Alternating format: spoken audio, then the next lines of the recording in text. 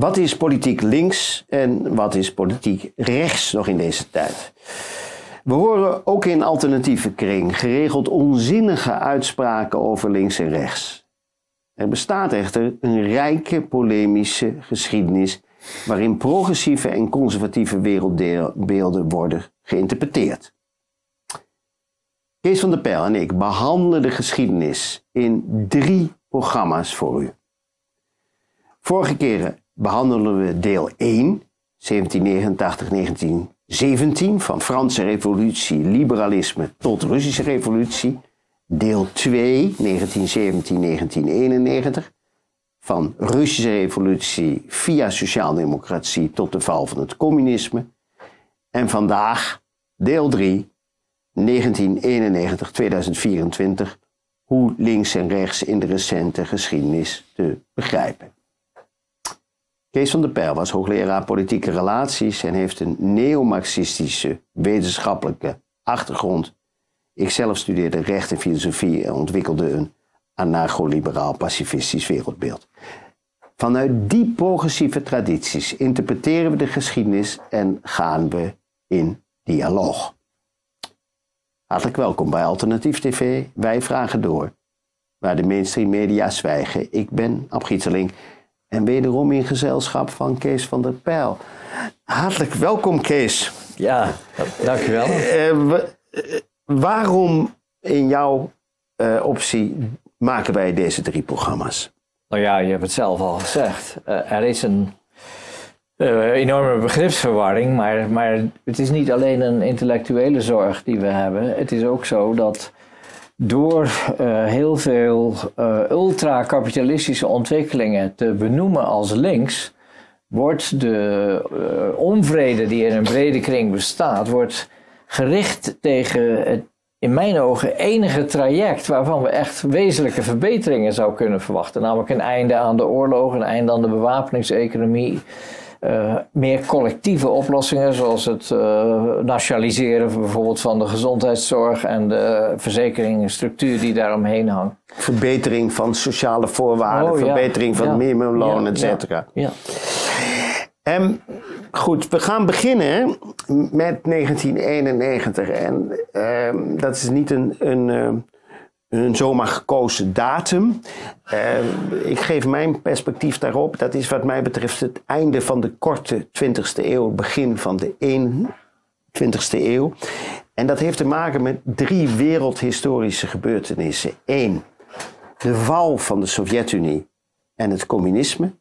Twee, de wenteling in geopolitiek opzicht dat niet het communisme en de Sovjet-Unie de vijand zijn voor het Westen, maar de islam.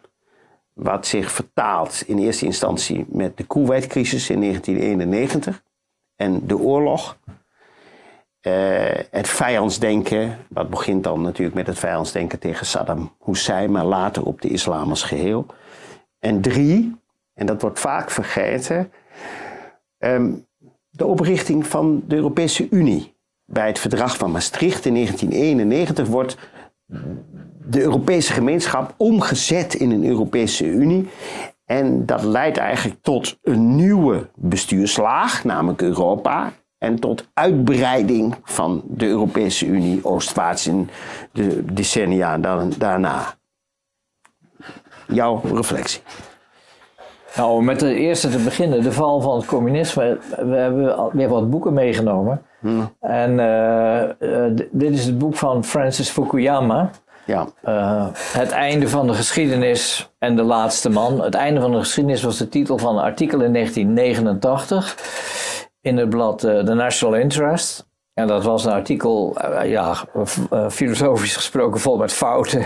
Hegel werd gezien als het summum van liberalisme en gaat zo maar door. Maar de kern van het hele verhaal is dat hij zegt: het westerse kapitalisme in combinatie met het parlementaire regeringssysteem, staatsvorm, heeft eh, in de loop van de 20e eeuw de twee systeemuitdagingen die er waren, namelijk uh, in eerste instantie nationalisme, nationaal socialisme, fascisme, en in tweede instantie het communisme, hmm. allebei verslagen. Die zijn dus, ja, liggen plat op de grond, zijn verdwenen, verdampt.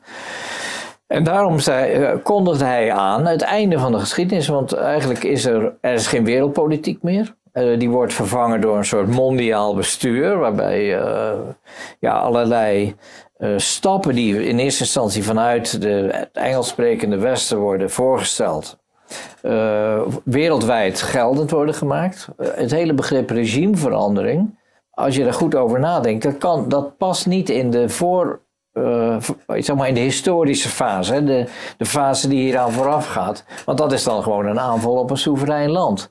Het idee van dat mondiale bestuur, wat hij dus uh, profiteert, uh, houdt in dat je geen echte grenzen meer hebt. Dat er geen soevereiniteit geldend kan worden gemaakt tegenover de mondiale bestuurskracht van de VS. Ja, maar het grote, grote, grote punt daarin, in, feite zegt hij, het neoliberalisme heeft op alle fronten gewonnen. Ja. En dat gaat gepaard na 1991 met een soort unipolaire macht van, van het Westen, geleid door de Verenigde Staten.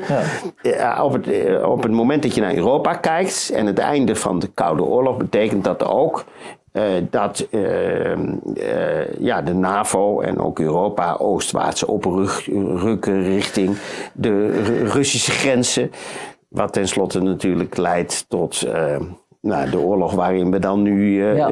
waarin we dan nu zitten. Ja. daar, oh, even een ander boek, wat ook interessant is. Danielle Ganser, Imperium USA. Over ehm, de enorme ontwikkeling van eh, de Verenigde Staten vanaf de Indianenoorlogen, de slaventijd, het Amerikaanse imperialisme tot de moderne tijd, uh, uh, waarin Amerika bij verre de machtigste supermacht en op een bepaald moment de enige overgeleverde supermacht ter wereld is. En die is nu in verval. Dat is eigenlijk wat er, wat, er, wat er dreigt te gebeuren. Ja. Um, ja, nog even jouw reflectie over die Amerikaanse hegemonie en ook dat oprukken oostwaarts naar de Russische grenzen. Ja, nou ja, het is al vaak genoeg gezegd dat uh, de afspraken die in de tijd zijn gemaakt. Dus, uh, kijk, Gorbachev is, is in 1989 ervan overtuigd door uh, zijn westerse gesprekspartner, voorop uh, James Baker, minister van mm. Buitenlandse Zaken van Bush senior, dat de, toen nog Sovjet-Unie zijn 460.000 man troepen, bezettingstroepen, uit de DDR zou terugtrekken. Mm-hmm. In ruil voor de toezegging dat de NAVO een inch zou oprukken naar het oosten. Ja. De, uh, de mensen die om Gorbachev heen stonden aan Sovjetzijde, dus uh, legertoppers en diplomatieke adviseurs, die, die kregen een hartverzakking op het moment dat hij die toezegging deed. Hmm.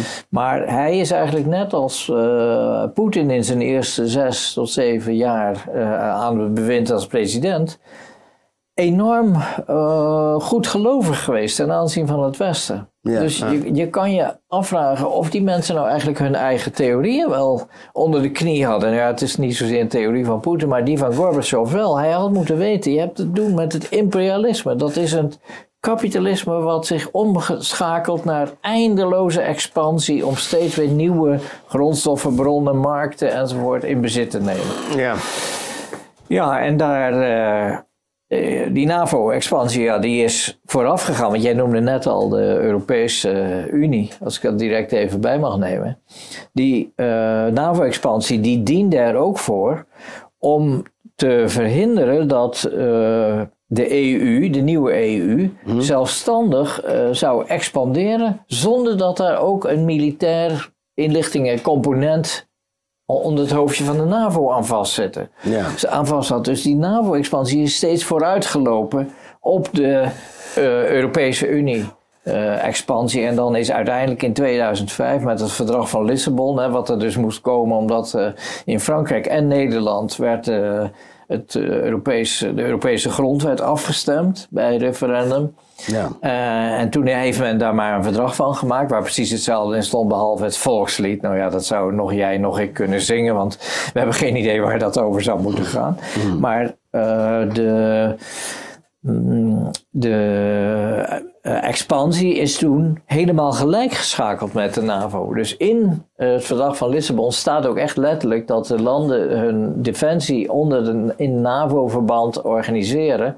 En alle latere openingen naar nieuwe EU-kandidaten, inclusief Oekraïne, hadden ook als het associatieverdrag, waar we in 2016 weer een referendum over hadden, waar de bevolking weer uh, heeft gezegd: nee, dat doen we niet. Mm. Met in mijn ogen zeer goede argumenten. Toen nog SP en Forum op dezelfde uh, lijn in dat opzicht. Mm-hmm. Ook daarin stonden drie artikelen die uh, verwezen naar de noodzaak voor Oekraïne om bij die associatie met de EU, die dus economische componenten had, ook uh, de defensiepolitiek gelijk te schakelen met die van de NAVO. Ja.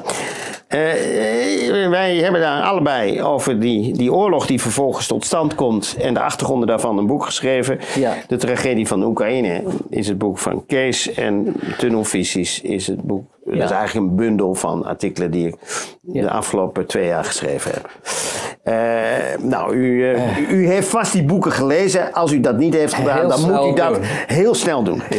Um, maar ik, mag ik ook nog iets over die islam zeggen? Want dat vond ik ook een heel belangrijk punt wat je hebt gezegd. Ja. Kijk, uh, Francis Fukuyama werd gesponsord door de Olin Foundation. een stichting die is gekoppeld aan Olin Mathieson. Ja. Uh, dat is een, een eh, munitiefabrikant in Amerika. Een heel belangrijk bedrijf in het militair-industrieel complex. Ja. Dus je zou zeggen van nou, dat kan eigenlijk bijna geen vredelievend boek zijn.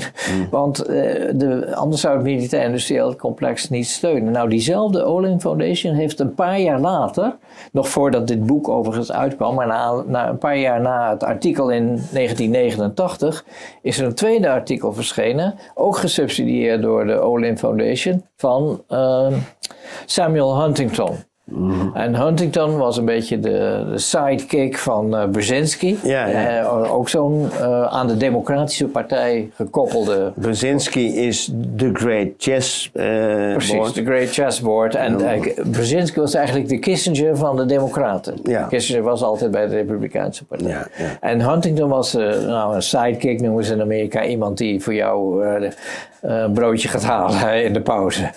Ja. en die heeft dus een heel belangrijke reeks boeken altijd geschreven na de oorlog over de Amerikaanse politiek. En nu schreef hij zijn artikel The Clash of Civilizations. Mhm. In Foreign Affairs, dat is het belangrijkste blad in Amerika op dit gebied. Mhm. En daarin uh, gaf hij eigenlijk aan dat, uh, zonder Fukuyama verder te noemen, dat die, het idee dat het nu allemaal eeuwig vrede zou zijn, er helemaal verkeerd zat. Want je had een eeuwigdurend beschavingsconflict tussen de westerse liberale beschaving en de Slavische beschaving en de Confucianistische beschaving. De Chinese. De Chinezen en Japanners, dat is even lastig. Maar vooral natuurlijk de islam. In, in, in het boek van, in, wat dan in 98 is uitgekomen, een boek over de Clash of Civilizations van Huntington. Daar staan ook echt letterlijk passages uh, vrij de, in detail uitgewerkt, waar staat dat jonge islamitische mannen eigenlijk niets liever hebben dan een, uh, een flinke klap van een bom. En uh, dat, dat uh, ja, geweld en terreur zitten echt in hun systeem. Al legt hij daarbij ook wel uit dat de economische crisis in het Midden-Oosten, het feit dat er geen werk en geen toekomst is, daar een belangrijke factor is. Ja. Nou, en dat is natuurlijk jij zei net, 1991, uh, eerste Golfoorlog, hè? dus de oorlog tegen ja. Uh, ja, misschien, misschien moet ik dat nog even toelichten. Hè? Jij en ik zijn niet alleen geboren, althans ik ben geboren in de Koude Oorlog. En we herinneren ons die nog goed. En in 1991 eindigde die uh, heel erg duidelijk door toedoen natuurlijk van Gorbachev. En wat ik altijd fascinerend heb gevonden is dat hetzelfde jaar de Kuwait-crisis tot stand kwam. Ja. Uh, dat leidde tot het feit dat er een half miljoen mensen, uh, uh, Amerikaanse militairen in de Saoedische woestijn werden gelegerd onder Bush senior destijds nog. En er een, een, soort stormaanval tegen Irak begon. Dat Saddam Hussein eigenlijk toen werd omgetoverd tot het symbool van het kwaad. En daarmee werd de islam het kwaad. Um, en dat leidde later tot uh, ja, een, een serie van aanvallen op islamitische landen. Uh, te noemen in 2003 wederom Irak.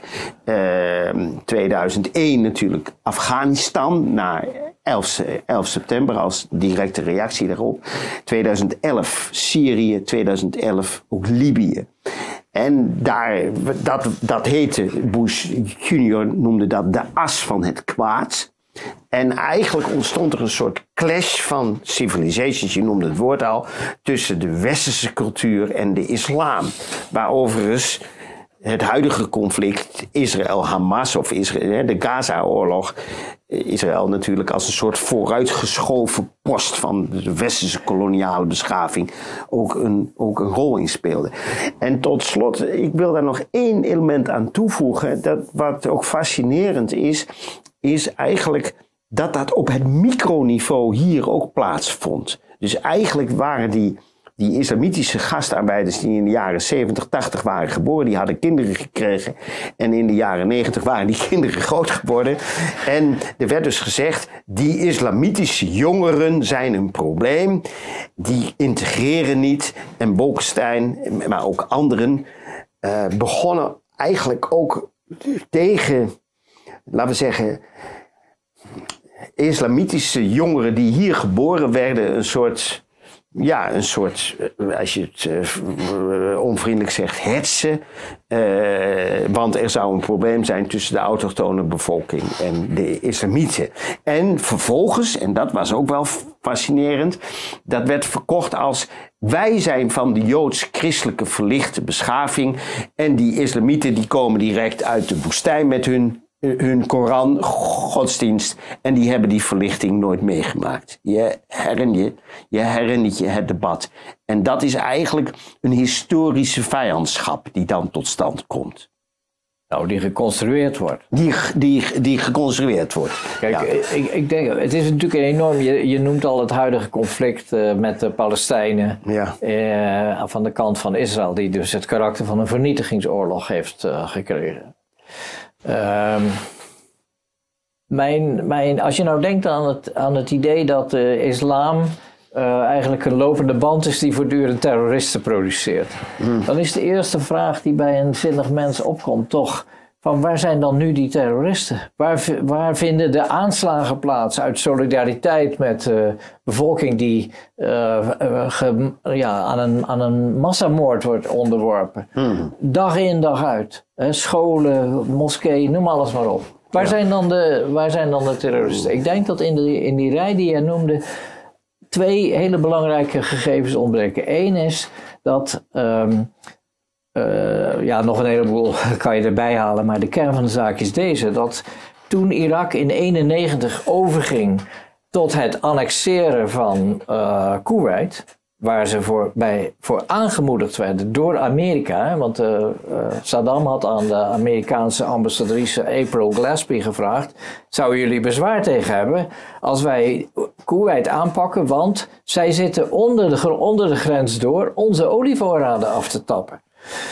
Irak was op dat moment financieel zwaar in de problemen. Waarom? Omdat zij, gesteund door het Westen en aangemoedigd door het Westen, tien jaar lang een Eerste Wereldoorlog-stijl oorlog hadden gevoerd tegen Iran. Iran waar in 1979 dus de ook een islamitische revolutie, maar dan de Shia-stroming had plaatsgevonden. Ja. Toen was Iran was de boosdoener. Hm. Uh, Irak was onze partij, werd gesteund met, met westerse wapens. Zij dat ook heel veel uh, in een eerder stadium zij Sovjetwapens hadden gekregen. Uh, het Westen heeft toen, toen heb je het Iran-Contra-schandaal gehad omdat het Westen organiseerde dat de Iraniërs heimelijk gesteund werden door Israël en uh, Saoedi-Arabië. Mm. En het, de opbrengst van de handel die daar werd verdreven werd gebruikt om de Contra's in Nicaragua te steunen. Maar dat is natuurlijk weer een heel ander verhaal. Ja. Maar de kern van de zaak is deze: dat het was politiek van het Westen om Irak en Iran, twee hoofdrolspelers in de OPEC-revolte tegen het Westen, de OPEC-prijsverhogingen, die ook 79 was ook het jaar van de tweede grote olieprijsverhoging. De politiek van het Westen was om die twee zoveel mogelijk elkaar te laten afslachten. En ja, laten we zeggen, het gevolg van een oorlog is altijd dat uh, de meest, ja, niet dat de eerste violisten van het uh, lokale symfonieorkest uh, op de voorgrond komen, maar dat de militaire, de autoritaire elementen, de geweldsgeoriënteerde elementen de overhand krijgen. Begrijp je? Dus in die, in die landen ging het de kant van verharding en dictatuur op. Er waren bijvoorbeeld in die Shia-revolutie waren ook hele sterke progressieve stromingen. Mhm. Geïnspireerd door al-Shariati bijvoorbeeld, een, mhm. een, filosoof uit de Shia-kring. die werd helemaal opzij geschoven, omdat Khomeini was het zogenaamde zwarte Shiïsme. En dat was echt een pure dictatuur, die nog steeds in wat afgezwakte vorm uh, bestaat. Ja aan het eind van die oorlog zegt Irak tegen Amerika: Zou jullie het goed vinden als wij Kuwait uh, dwingen om die olie uh, die ze van ons pikken om terug te geven? Want Irak was, ja, was, was, was bijna zwaar gehavend door die, door die oorlog. Net als Iran natuurlijk, maar Iran won. Elke oorlog wordt altijd op den duur gewonnen door het land met de meeste bevolking en de, de ja, best georganiseerde economie. En Irak was nou eenmaal kleiner. Zeker als het Westen heimelijk Iran ook nog eens een keer steunt. Nou, dat, dat moet je er dus bij nemen. Het andere wat je echt vergat, volgens mij, was 9-11. Kijk, uh, het was Israëls politiek. Uh, en dat, dat is helemaal gedocumenteerd. Al jarenlang had uh, met name Netanyahu en de stroming van de Likud om hem heen... had erop gehamerd wij houden die Palestijnen er zelf niet onder. Er moet een oorlog tegen de terreur komen die gevoerd wordt door Amerika en de bondgenoten, eigenlijk voor ons. Dus Israëls oorlogen, de, laatste in 1973 op het nippertje gewonnen, die moet overgenomen worden door het Westen als groot conflict enzovoort. Nou, dat is allemaal uh, gedocumenteerd. Vandaar, je kent misschien die anekdote dat generaal Wesley Clark, oud-NAVO-commandant, op het Pentagon komt gewoon voor de gezelligheid.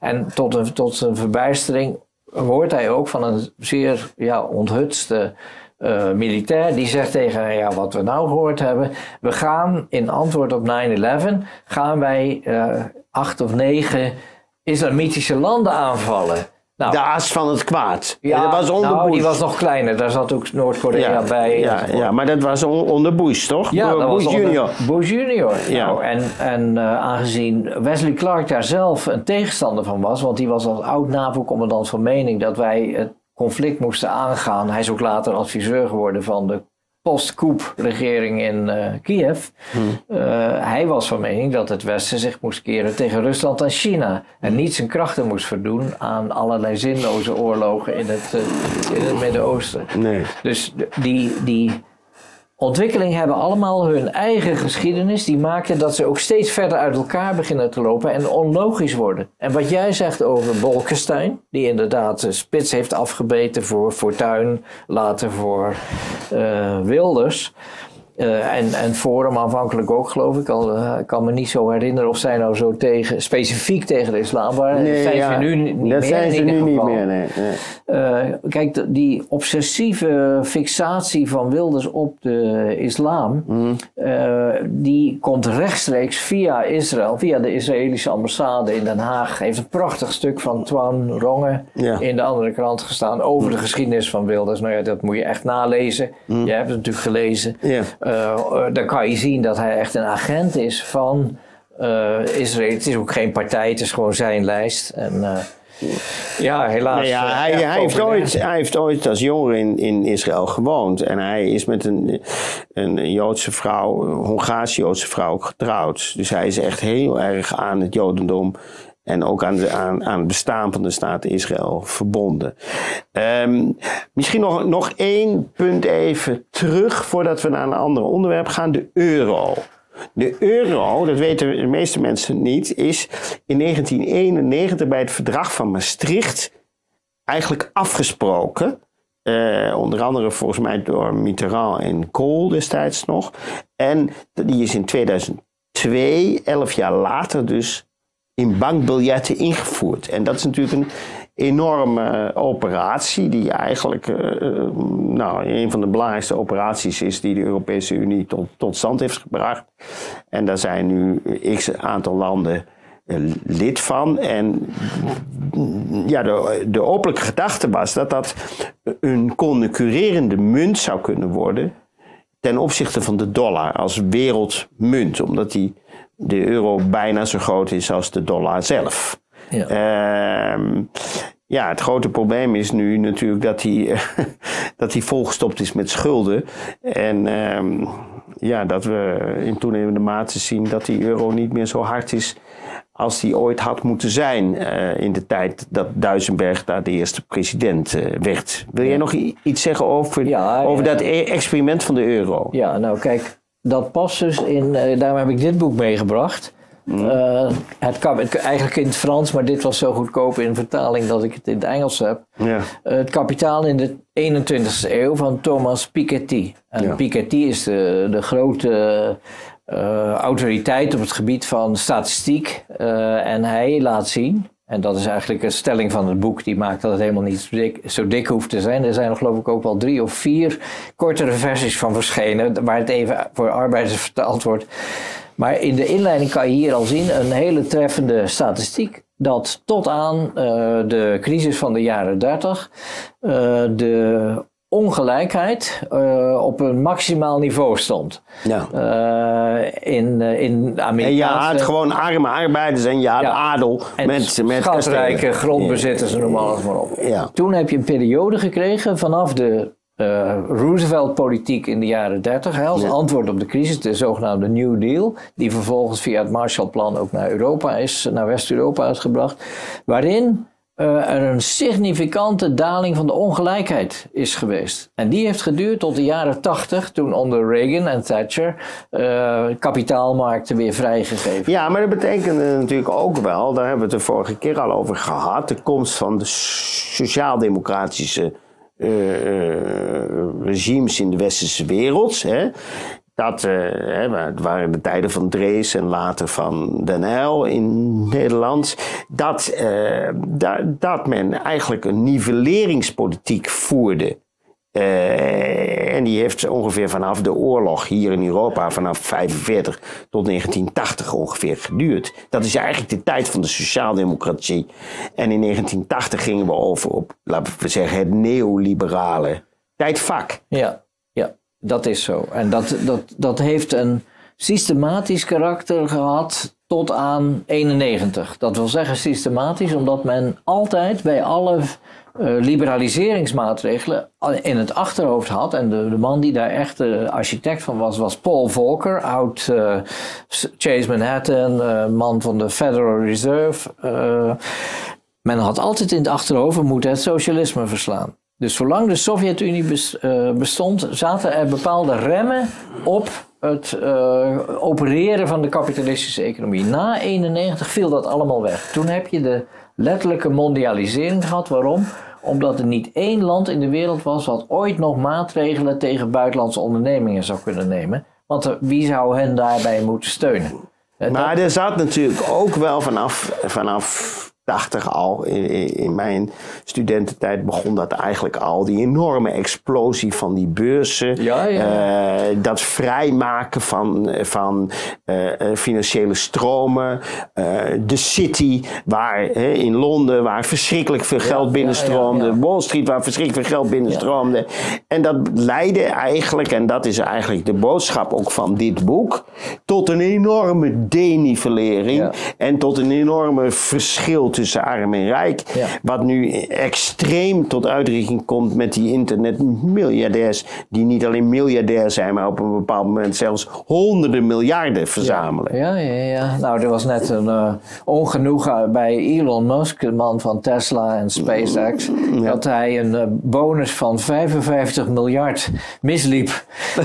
en er waren zelfs websites zoals Zero Hedge, waarop werd gezegd: het is toch wel een teken van hoe ver links zijn macht kan laten gelden dat een hardwerkende man als Musk een uh, bonus van 55 miljard wordt ontzegd. Ja, ja, ja. Maar goed, de, de kern van de zaak is inderdaad dat het kapitaal in de 21ste eeuw, zegt Piketty op grond van de cijfers, is weer net zo ongelijk als uh, uh, het was voor de Eerste Wereldoorlog, respectievelijk de crisis van de jaren 30. Eigenlijk de, de, de, de laatste fase van de 19e eeuw, toen we nog een adel hadden en een arbeidersklasse. Groot grondbezit. En, en met, groot grondbezit en, een, en een arbeidersklasse. Die verschillen zijn enorm. En die verschillen zijn, het is goed om te zeggen, de afgelopen 45 jaar sinds 1980 ook alleen maar gegroeid. Ja. En, en daarom hebben we te maken eigenlijk niet meer met dat systematische neoliberalisme, wat nog erop gericht was, primair uh, om politiek de strijd met de Sovjet-blok uh, te winnen. Maar we hebben nu een ultracapitalisme, wat een fase is ingegaan van complete onteigening. En onteigening is altijd een heel belangrijk element naast uitbuiting. uitbuiting dat je minder betaald krijgt dan je eigenlijk produceert is onteigening altijd een heel belangrijk kenmerk van de kapitalistische politiek geweest. En we hebben nu, na de, zeker na de COVID-crisis, te maken met de onteigening van theatergezelschappen, zoals van de man hier tegenover mij. Uh, maar ook het midden- en kleinbedrijf, het onteigenen van uh, pensioenrechten. Uh, en, en zo kan je nog een heleboel dingen door. En waarom noem ik dat? Omdat heel veel mensen denken: hé, hey, onteigening, was dat niet kern ook van het uh, van de uh, politiek van Stalin, hè, om de boeren hun land af te pakken. Nou, kijk eens even, onze boeren worden ook hun land afgepakt. Echt heel letterlijk, hè? De Rabobank geeft al stempels op aanvragen van, uh, voor krediet, van, voor een nieuwe stal of een nieuwe schuur, waarop staat stikstof. En dat wil zeggen dat daarvoor geen krediet meer wordt verleend. Dat wil ook zeggen dat die boer niet kan uitbreiden, dat is meestal het einde van het bedrijf. Of tenminste, dan gaan ze wel om zich heen kijken van moet ik hier nog lang mee bezig zijn. Nou, mensen zien dus die oppervlakkige overeenkomst tussen, laten we zeggen, de strijd in de Sovjet-Unie voor de collectivisering van de landbouw, wat een terroristische, bloedige aanval was op de boerenstand. En die denken, hé, hey, maar dat is dan natuurlijk links.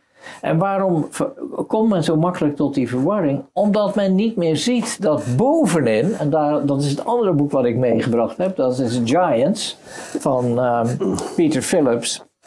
Daarin staat hoe, dat is van een paar jaar geleden, hoe aan de top van onze piramide uh, van verdeling van rijk en arm, uh, een handjevol bedrijven zoals BlackRock, uh, eh, JP Morgan Chase, inmiddels gefuseerd. En nog een aantal andere, belangrijkste uit Nederland. Egel, als kandidaat uh, bij de top 20. Ook een enorme beleggingsmaatschappij geworden. Vroeger was het gewoon een verzekeringsmaatschappij. Die bedrijven aan de top, die hebben uh, portefeuilles van, nou BlackRock bijvoorbeeld, in dit boek nog 2017, begin 2017. Een portefeuille van 5,4 trillion, dus biljoen, dus duizend miljard. Vijf, vijf, dat is 5400 precies, miljard. En in, de, uh, in diezelfde periode uh, wordt Trump uh, is dus in 2016 verkozen. 2017 is zijn eerste jaar. En iedereen denkt altijd dat Trump is de man die redding brengt. Nou, in dat jaar heeft hij, is hij begonnen met een enorme belastingverlaging voor de allerrijkste. Net zoals Bush junior dat had gedaan en noem alles maar op. Uh, en die leidde ertoe dat BlackRock alleen al, die in begin 2017 5400 miljard dollar in portefeuille had, aan het eind van datzelfde jaar er een uh, duizend miljard bij had gekregen. Ja, ja, ja. Uh, nou, dat, dat is het proces wat. En dan praten we dus nog niet over de COVID-crisis. Wat ook een. Nee, maar goed, daar gaan we, gaan we zo nog even. Is over, over, ik, ik wil nog een ander onderwerp op de agenda zetten: internet. Ja. We hebben eigenlijk sinds 1995, eigenlijk begon die, uh,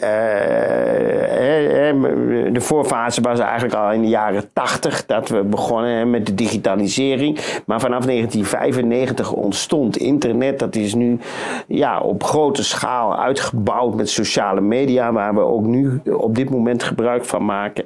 Uh, en dat internet heeft in mijn analyse eigenlijk twee kanten enerzijds een enorme mogelijkheid van communicatie en emancipatie. dit programma, uh, toen ik vroeger programmamaker was bij, bij de Bali, had ik jou uitgenodigd voor dit gesprek, maar dan zaten er 50 mensen. En nu hebben we duizenden mensen, namelijk digitaal en omdat het programma via sociale media wordt vermenigvuldigd.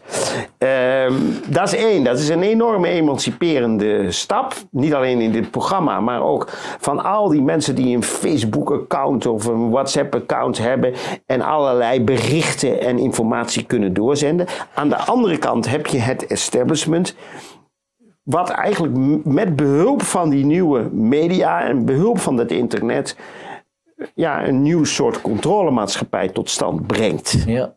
Hè? Dus dat is eigenlijk uh, een verlichtingselement waarbij ook een schaduwzijde ingebakken zit. Ja. Jouw, jouw nou, die, eh, en die schaduwzijde heeft op dit moment natuurlijk de overhand. Al gebeuren er voortdurend dingen waardoor waar de machthebbers uh, door op het verkeerde been worden gezet. Ik vind bijvoorbeeld een deze dagen heel interessant de, het bezoek van Tucker Carlson, de bij Fox News ontslagen anchorman, hè, dus een, nieuws uh, of een man met zijn eigen praatprogramma, ja. en die nu voor zichzelf is begonnen en die is naar Moskou gegaan om Poetin te interviewen, niet ja. omdat hij en dat gaat ook gebeuren, begrijp Oh nee, dat is al zeker. Ja. En de uh, omdat hij zegt, wij horen alleen maar Zelensky, wij horen alleen maar de westerse kant van de, het verhaal over waarom er oorlog is in Oekraïne met zijn bloedige consequenties. Hm. Uh, het is mijn taak als journalist, hoewel ik geen bewonderaar van uh, Poetin ben, hm. noodzakelijk, om de andere kant te horen. Wat zeggen die er eigenlijk over?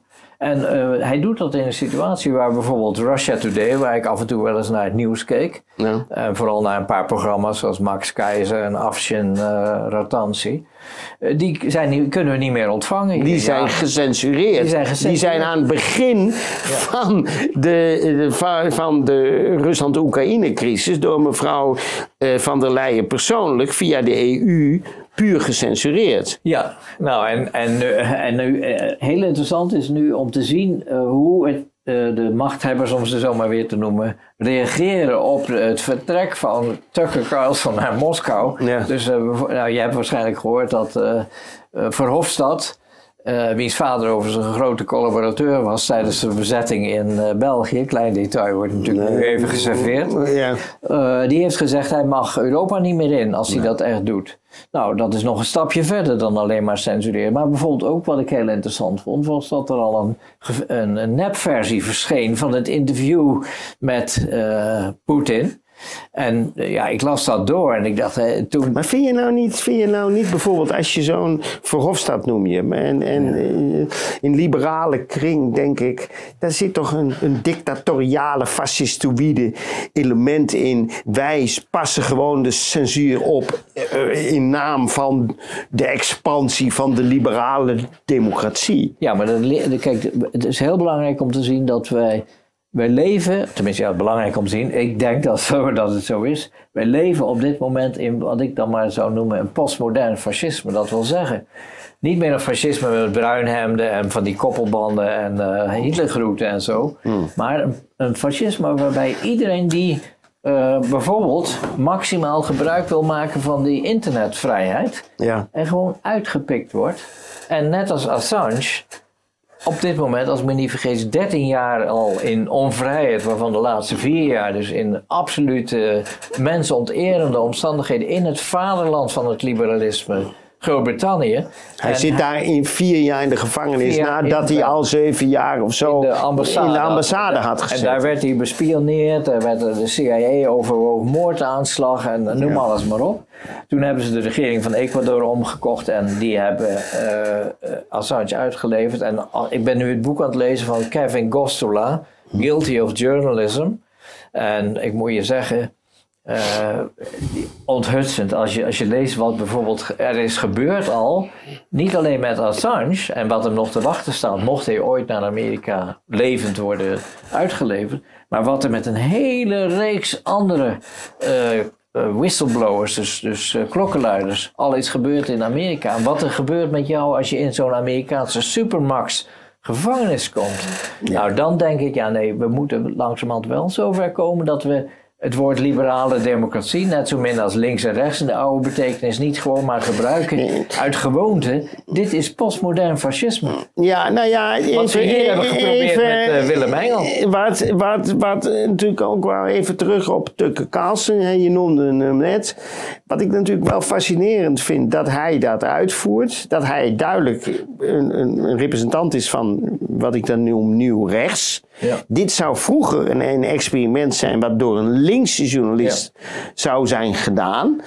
Uh, en dat links, een groot deel van links, wat de journalistiek betreft, gewoon volledig de weg kwijt is. Of eigenlijk ingepast is voor een groot deel in, in het establishment. Ja. Niet iedereen, nou, maar een. Ik een, weet niet welke een, uitzonderingen je kent. Een, een, belangrijk deel, uh, nou ja, goed, hier aan tafel gebeurt er dan natuurlijk. Uh, zijn er wel al alternatieven. Maar ja, de, de, de, dat, dat is een probleem. We gaan naar het volgende volgende onderwerp. Of wil je nog wat melden over wat die internetrevolutie en eventueel de gevaren van die internetrevolutie? Want we hebben daar een nou, aantal ik, ik, zie, ik zie daar geen gevaar in. Anders dan, kijk, uh, Stan van Houken die heeft het vergeleken, ik neem aan nog wel meer mensen ook, met de uitvinding van de boekdrukkunst. Ja. Nou, als ik jou nou zou vragen, zie jij, zag jij bepaalde gevaren aan de uitvinding van de boekdrukkunst? Dan denk ik dat je zou zeggen, ja nou nee.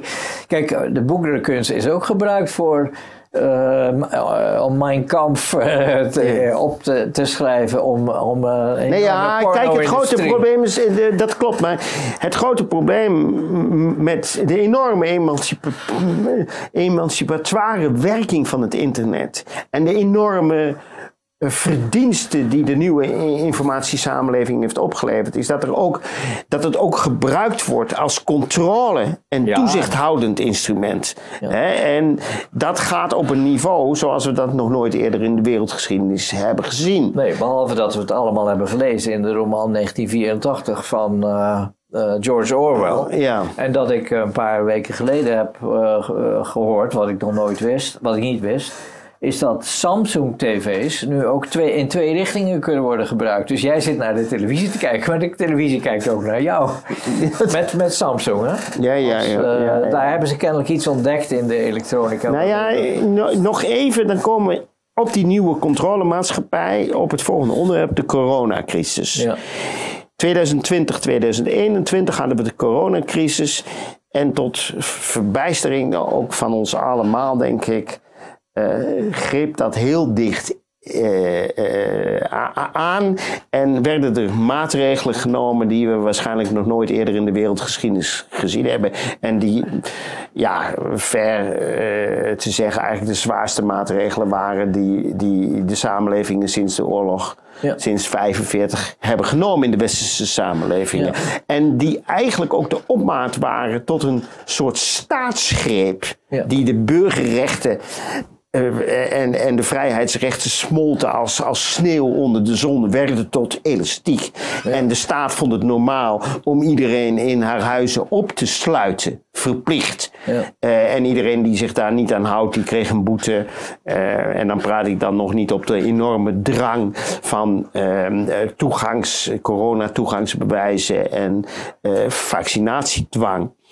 Um, maar eigenlijk het gezicht van de nieuwe controlemaatschappij werd toen op een enorme manier zichtbaar. Ja. Even kort een aantal dingen die jij daarover nog wil toevoegen. Ja, wat moet ik ervan zeggen? Ik heb een boek gemaakt, uh, Pandemie van de Angst. Ja.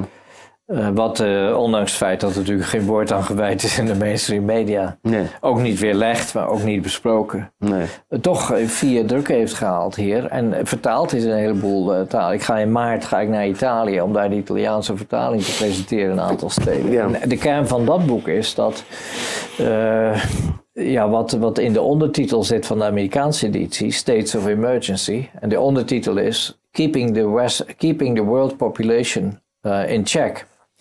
En dat is dat je eh, aan statistieken kan zien dat er na 2008, hè, het, het, smelten van de, van de financiële berg in eerste instantie. Ja. Uh, dat er toen... de crisis, de, ja, de, ja, de financiële, de kredietcrisis, of hoe je hem ook wil noemen. Maar eigenlijk dus het, het einde van het tijdperk waarin er nog financiële middelen waren om de illusie in het Westen overeind te houden dat we in een soort welvaartsstaat leefden. Na 2008 is de ongelijkheid, die toen ook is verergerd, is, heeft geleid tot golven van verzet. En uh, er is een groep Russische, interessant genoeg, Russische schrijvers in een Amerikaans blad geweest.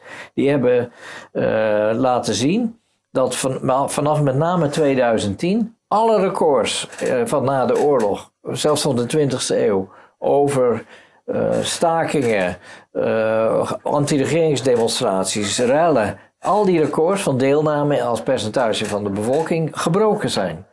Uh, met name in het Westen. Maar ook in het Midden-Oosten bijvoorbeeld. Denk maar aan de Arabische lente. Denk maar aan uh, Occupy Wall Street. Uh, de gele vestjes. Hè, dat soort dingen. En mijn stelling is dat ehm, aangezien je kan aantonen. En nu ook in het boek van Robert Kennedy. de de real, de real Anthony Fauci nog eens een keer uitgebreid gedocumenteerd. Aangezien je kan aantonen dat de drijvende kracht van die hele COVID-crisis niet het medische establishment was, of zelfs niet Marion Koopmans en haar vrienden in het laboratorium in Rotterdam. Wat al honderd keer gesloten had moeten worden, omdat het levensgevaarlijk is om te gaan knoeien met virussen midden in een grote bevolkingsconcentratie. Maar dat de drijvende kracht daarachter waren de militairen en in het bijzonder de militaire inlichtingendiensten.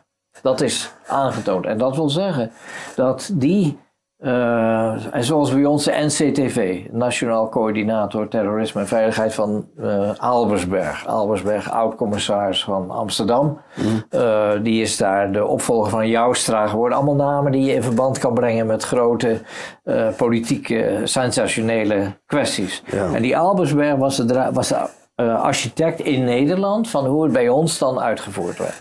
En Kees van der Bos en andere mensen die bezig zijn met het eh, verwerken van die WOP-documenten. Die laten ook zien dat elke keer als het bijvoorbeeld ging over de avondklok, dat natuurlijk geen medische argumenten daarbij een rol speelden, want het virus weet niet dat het om negen uur moet, uh, uh, kan gaan rusten mhm. of zo. de, maar dat die werd aangedreven door eh, vanuit veiligheids- en, en, en gezagsoverwegingen. in mijn boek uh, citeer ik ook eh, de Duitse regering, waarvan de hele correspondentie naar buiten is gekomen. Die zeiden: de staatsveiligheid is hier direct in het geding. Nou ja, dan denk dan maar eens aan biowapens, samenwerking met China op het gebied van biowapens. Biowapens zijn dus virussen die opgewaardeerd zijn gebruikt worden om mensen te laten sterven. En dan ook nog de rol van de farmaceutische industrie, die, ja, ik noem dat dus disaster capitalism in navolging van Naomi Klein. Dat wil zeggen, een kapitalisme wat puur parasitair is. Van er is een situatie, een crisis. De maatschappij is bereid om jouw producten op grote schaal te gaan kopen, omdat er paniek heerst. Uh, ja, dat zijn dan de vaccins geworden. Maar dag in dag uit nu mensen aan sterven, ook in onze eigen omgeving. Tenminste, ik weet niet hoe het jou vergaat, maar uh, ik ken allerlei mensen die hebben zich laten boosteren en zo, die zijn nu dood. Ja, het, is, het, valt erop, maar uh, daar, daar, goed, daar, daar, daar is een enorme discussie over. We gaan naar een, een volgend onderwerp. Um, even terug naar Rusland, Oekraïne. We zijn terug in de nieuwe Koude Oorlog. Uh, en wat zich lijkt te ontwikkelen is eigenlijk een dichotomie tussen de westerse wereld, die Oekraïne probeert in te lijven, en de BRICS-wereld, Brazilië, Rusland, India, China, Zuid-Afrika, waarin eigenlijk de opkomende grootmachten zich hebben verenigd en die, uh, ja, die een uitdaging vormen tegenover dat westerse complex van de Amerikanen en de Europeanen. En uh, ja, dat, dat lijkt de nieuwe dichotomie in de moderne geopolitieke dichotomie te zijn in de moderne wereld. Ja. Ja. Wat zou jij daar nog over nou ja, willen toevoegen? Ik, ik, noem dat dus in mijn eerdere geschriften al mm. uh, mededingerstaten. Dat wil zeggen, uh, je hebt dus het Engeland en Amerika, hè, de, kern van het Westen, Engels sprekende Westen. Ja. Uh, en daar is eigenlijk het kapitaal soeverein. Dat wil zeggen, de hoogste instantie zijn de kapitaalmarkten van, uh, naar Wall Street en de City. Maar die mededingerstaten, waarvan het eerste voorbeeld Frankrijk is en dan later Japan en Duitsland, Sovjet-Unie. Dat zijn staten die georganiseerd zijn volgens het principe van de staatssoevereiniteit. Namelijk de hoogste instantie is de staat. En als je nou naar de instorting van het communisme kijkt hoe die wereldkaart eruit ziet, dan zie je dat er aan de ene kant is de, nog steeds dat Westen volgens het oude principe van het soevereine kapitaal, zelfs soevereiner dan het ooit is geweest, als je de statistieken van Piketty wil uh, geloven. Maar daar staan tegenover uh, staten die primair soevereine staten zijn. En dus ook hechten aan het niet-inmenging in de binnenlandse aangelegenheden enzovoort. En dus helemaal niet dat mondiale bestuur wat Amerika uh, voorstelt met het Westen in zijn kielzog. Maar uh, een uh, kapitalisme weliswaar dat echter de staat als laatste, waar de staat het laatste woord heeft. Dus bijvoorbeeld een laatste een kwestie die onlangs speelde. Of de, in Rusland het spoorwegnet richting China gebruikt wordt voor olietankwagens of voor wagens met kolen. Uh, dat wordt door de staat beslist. En niet door de maatschappijen en oligarchen die vastzitten aan, de, aan die activiteiten. In mijn boek leg ik ook uit dat de reden waarom Rusland de oorlog zal winnen in eerste instantie, even daar gelaten wat de NAVO gaat doen als het een deze dagen Oekraïne echt in elkaar stuikt, uh, militair.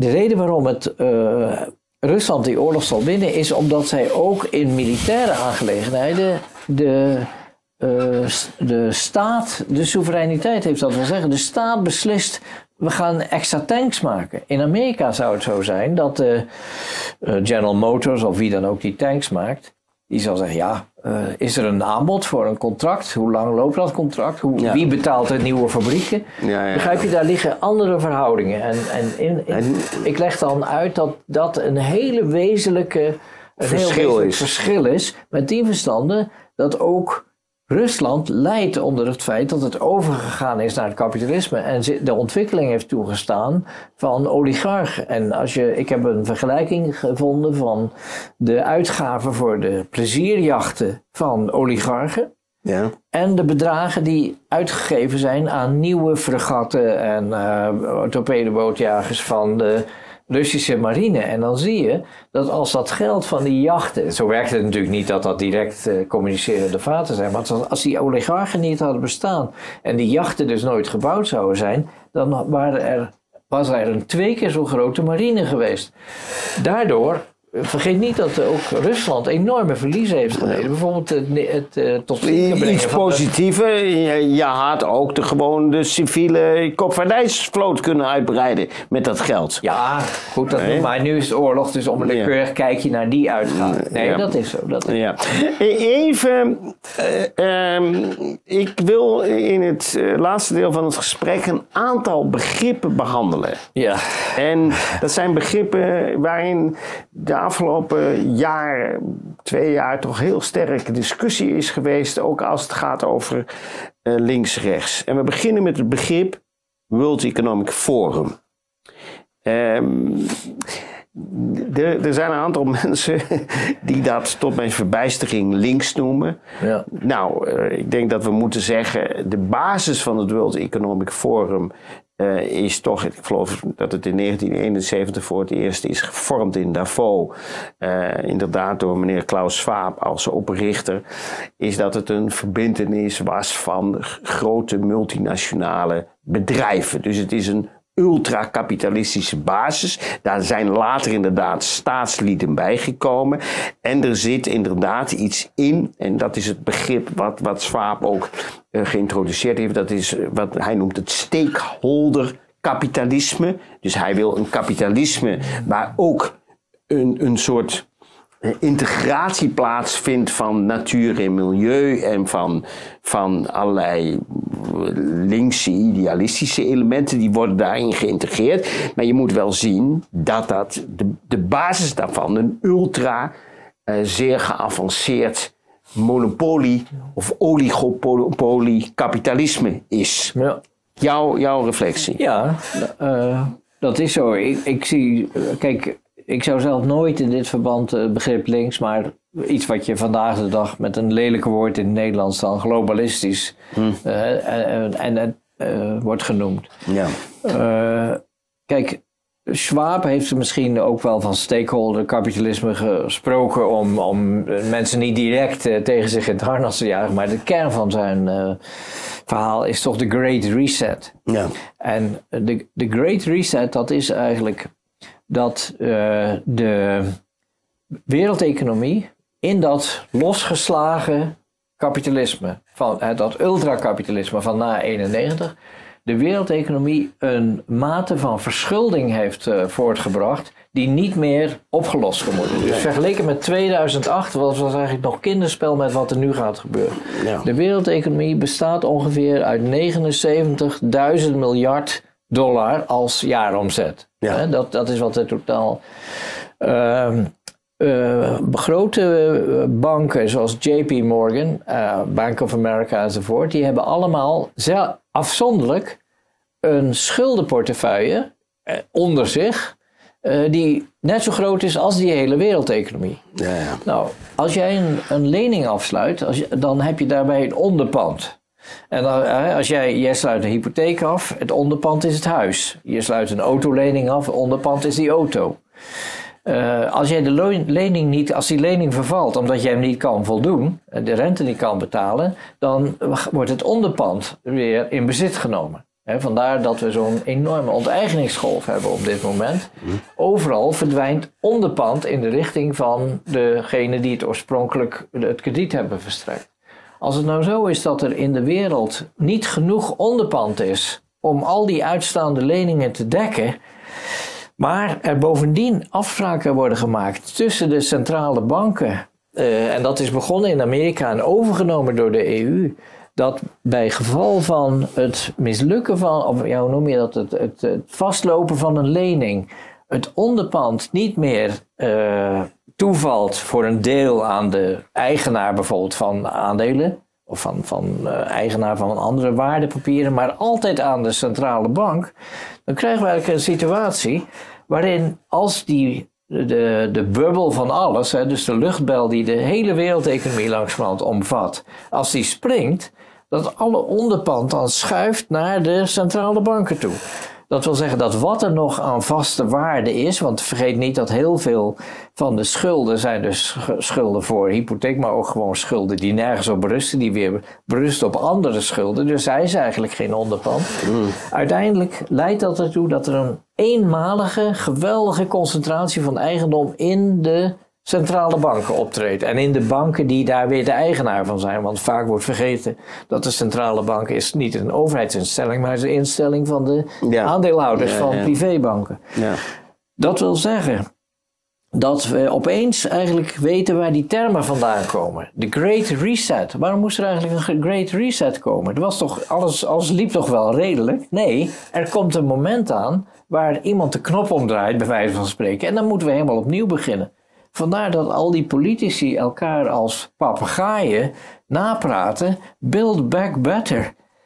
Ook dan rijst weer de vraag bij iemand die, niet inge, die het niet al dagelijks gehoord zou hebben: van waarom moet het eigenlijk weer beter opgebouwd worden? Alles was toch oké? Waar komt ook de leus vandaan? You'll own nothing, but you'll be happy. Je zal niets hebben, maar je bent gelukkig. Dat, dat zijn niet zomaar krankzinnige verzinsels die zo'n beetje... Maar ja, daar zit, daar, zit, een logica achter. Ja, maar daar zit ook wel een beetje de gedachte achter dat wij in, in de toekomst, en dat merk je eigenlijk al, de, de, steeds minder dingen echt bezitten, maar daar wel gebruik van maken. Hè? Dus we, we, vliegen met vliegtuigen, we hebben niet de auto zelf, maar we huren de auto. Ja, ja, uh, oh nee, dus we, we hebben geen, geen, geen huis, uh, geen buitenhuis, maar we zitten in een hotel, of we huren het buitenhuisje, et, et cetera. Dat, dat zit er natuurlijk ook een beetje achter. Um, nee, maar, dat, dat, laat één. Ik ben er helemaal mee eens. Ik ben daar zelfs voor. ik bedoel, wij, willen ook niet eerst een vliegtuig moeten kopen voordat we naar uh, Brussel Airport uh, kunnen vliegen. Maar uh, iets anders is natuurlijk de politieke vraag hoe stelt men zich dat proces voor van onteigening? Ja, dat is, dat is en dat, dat is dus niet iets wat uh, nee, onderdeel ze, van jouw vakantie Nee, maar daar hebben ze natuurlijk ook niet veel plan op. Ik, ik, ik wil hier aangekoppeld misschien dan nog een ander begrip neerleggen. Globalisme versus antiglobalisme. Ja. Uh, er wordt wel gezegd, en ik denk dat wij het daar wel mee eens zijn, dat die hele discrepantie links-rechts, dat die in zekere zin nog bestaat, maar dat er een hele nieuwe dimensie, eh, laten we zeggen 90 graden opgezet is. Ja. En die heet globalisme, antiglobalisme. Ja, ja. Uh, en je ziet dus eigenlijk een antiglobalisme van rechts ten uh, opzichte van het globalisme van van rechts. Hè, dat we zeggen, als je politiek invult, de vorm van democratie tegenover de VVD. Maar je ziet dat antiglobalisme ten opzichte van het globalisme van links ook. Dat is alleen politiek gezien niet zo zichtbaar. Maar je, je had natuurlijk eh, eh, een antiglobalistische beweging op links. Uh, ja, misschien is het een beetje uh, Partij voor de Dieren of zo, als je het politiek invult. Ja, maar die hebben, hebben, dat toch allemaal uit handen gegeven. Die hebben, niemand heeft zich, toch vast, heeft zich toch vastgeklampt aan enig ideaal van gelijkheid, uh, vredelievendheid, al dat soort dingen.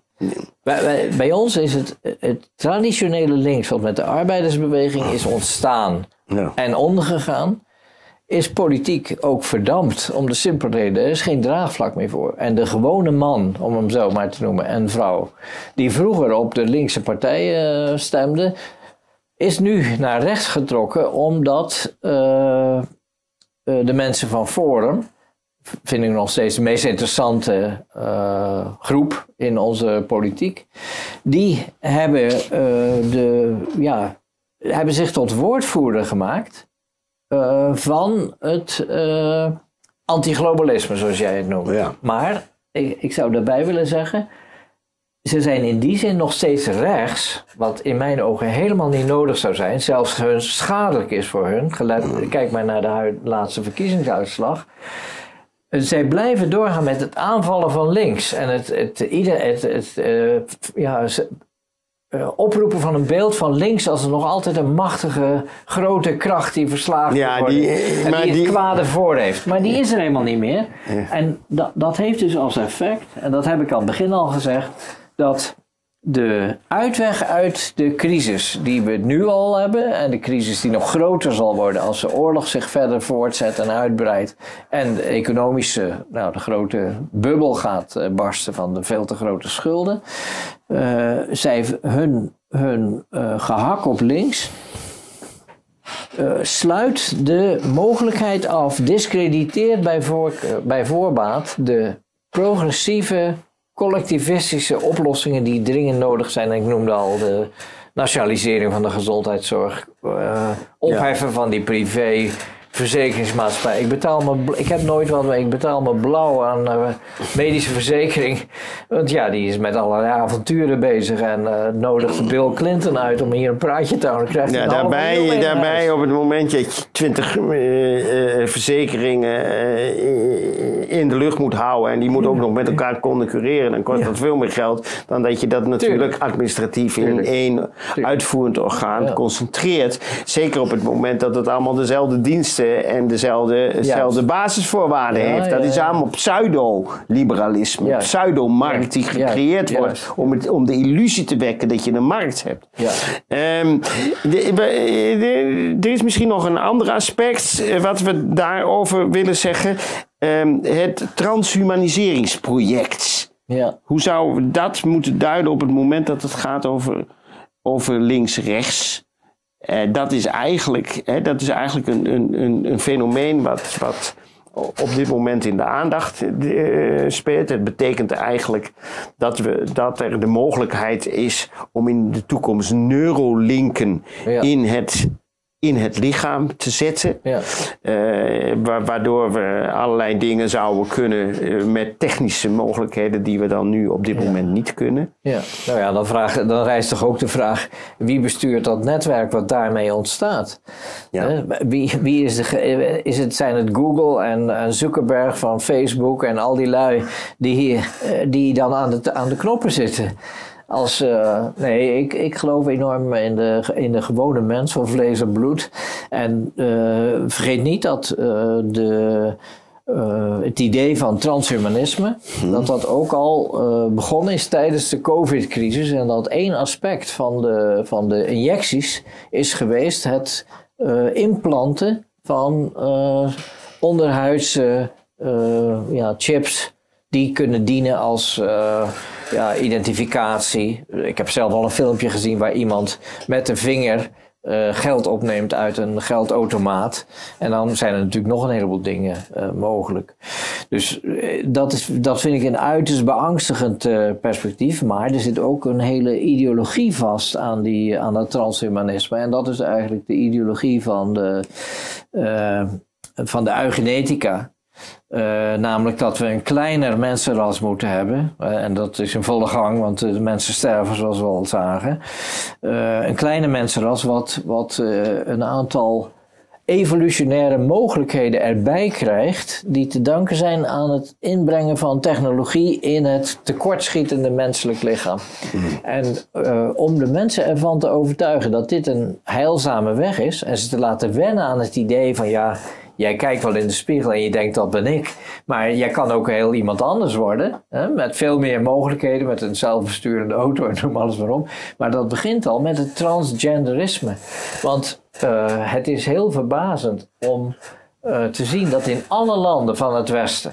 Hè, dus niet in de conservatieve landen van Oost-Europa en zeker niet in Rusland en China enzovoort. Uh, kleine kinderen worden blootgesteld op dit moment aan verregaande ja, zeer voor een kind, voor de kinderziel stel ik me voor, zeer onrustbarende ontwikkelingen zoals het propageren van alternatieve seksuele activiteiten en identiteiten. Uh, en ja, daarbij speelt aan de ene kant mee dat er een aantal um, individuele miljardairs zijn die uh, ja, vanuit hun uh, visie de mogelijkheid hebben om al dit soort activiteiten te steunen. Maar ik denk dat, dat je gemiddeld genomen moet aannemen dat de algemene uh, ja, historisch-culturele ontwikkeling in de richting van zo'n supermens. Uh, misschien moet Nietzsche hier ook nog wel genoemd worden. Dat dat uh, het programmatische element daarin verklaart. Dat het dus geen grillen zijn van individuele miljardairs. Maar dat die individuele miljardairs weer de toevallige uitvoerders zijn van iets wat al, wat ook bij zeer goedwillende. Vergeet niet dat boek bijvoorbeeld van uh, uh, James Lovelock, uh, wat hij op 100-jarige leeftijd heeft gepubliceerd. dat heet um, het, niet het Anthropocene, maar het Novacene. Het. Novacene zou een nieuw tijdperk zijn en dan zegt hij waarin kunstmatige intelligentie, artificial intelligence, het mogelijk maakt dat de mensheid uh, zich uitbreidt naar de andere planeten, waar het uh, als oorspronkelijke mens niet zou kunnen overleven, maar als robot, uh, dubbelganger van jou, een avatar, wel. Ja, ja, ja. En ja dat, dat, hij fantaseert daar fors op los. En als je dat leest, dan denk je, ja, dat, uh, dat zou inderdaad best mogelijk zijn. Maar hoe liggen de sociale en politieke verhoudingen op het moment dat we de eerste. de vraag, is, eh, de, vraag is, de vraag is dan ook een beetje, ja, ik kan me dat allemaal wel een beetje voorstellen. Maar moet je dat eigenlijk allemaal wel willen? Precies. precies. En, eh, Wat is je de kan, ethische eh, inzet? Ja, maar ook, ook worden wij daar als, als mens gelukkiger van of beter van? Of, of, eh, of is het ook een soort een soort illusie, een droom. Je kunt ook naar een film gaan kijken natuurlijk. Hè? Ja. Uh, Precies, en vergeet niet dat, dat die, je noemde net het World Economic Forum, ja. dat die Harari, die Yuval Harari, Israëli adviseur van uh, Schwab op dit terrein, mm. dat die dus ook uh, uh, fantasieën heeft, waarbij hij bijvoorbeeld ook spreekt over useless eaters. Dus dat, dat ja, nee, zinloze opvreten. Ja, hij zegt, daar is, kan je wel een discussie over zeggen. Ik heb hem zelf een keer gezien hier in uh, Amsterdam, in een soort, soort speech, zelfs een beetje ontmoet. Uh, kijk, hij zegt, ja, dat voltrekt zich alleen, zegt hij. Ja, ja. dus die, die, die, die, transhumanisering voltrekt zich. En wij zouden er als mensheid over na moeten denken hoe we ons daartoe verhouden. Ja. Dat zeggen natuurlijk veel meer mensen. Elon Musk zegt dat op zijn manier ook. Je kan natuurlijk ook zeggen, nou ja, kijk, als iemand een zwaar gebrek heeft, is, is blind of, of, nee, of dingen, dan kan je zeggen, hè, je zet er een neurolink in en. en hè? Maar, maar het, gaat, het, gaat niet, het, het, gaat niet over mensen die ziek of gebrekkig zijn. Het gaat over mensen die gezond zijn en zichzelf willen upgraden. Moet je dat eigenlijk wel willen? Dat is de grote vraag. Ja, maar dat is dezelfde vraag kan gesteld worden ten aanzien van de mRNA-technologie. Dat is ook iets wat, hè, dat je dus de celreproductieprocessen uh, gaat sturen door die aanstuur-RNA's te lanceren. Dat is op zich een idee wat natuurlijk geweldige positieve consequenties kan hebben, maar niet als je dat prematuur introduceert op het moment dat het er vooral om gaat om de bevolking eronder te houden. Dan heb je eigenlijk ook de goodwill verspeeld, zou ik zeggen, die uit dat idee op zich nog zou kunnen voortkomen. We gaan, we gaan nog naar een ander uh, onderwerp, eh, woord, natuur en milieu. Ja. Daar wilde jij ook nog duidelijk wat over melden. En daar zitten we. Uh, dat is ook een begrip wat, wat in die links-rechts discussie een belangrijke rol speelt. Links heeft tot zich genomen: wij moeten het klimaat beschermen. Rechts vindt het voor een deel onzin. maar er is wel een probleem met natuur en milieu. Ja, ja, ja. Nou, uh, ik ben bij de klimaatseptici om de simpele reden dat we, we leven in een land wat op wereldschaal gezien het formaat van een postzegel heeft. En de gedachte dat wij door maatregelen hier uh, iets kunnen veranderen aan de complexiteit van wat zich boven ons in de stratosfeer afspeelt, is natuurlijk totaal flauwekul. En er zijn al heel Jawel, maar daar, daar zegt de tegenpartij van, ja maar luister eens even, uh, we moeten allemaal belasting betalen. Ja.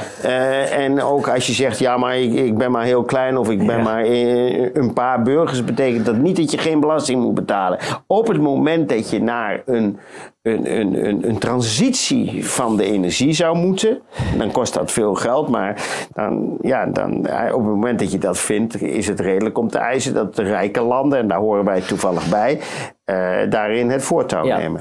Behalve dat het volgens mij, uh, op, en dat bedoelde ik ermee te zeggen, op een volstrekte illusie berust. Dat, zoals een van die, een man die vroeger, ik ben zijn naam, de Kees de Bruin, als ik me niet vergis, mhm. die had gezegd.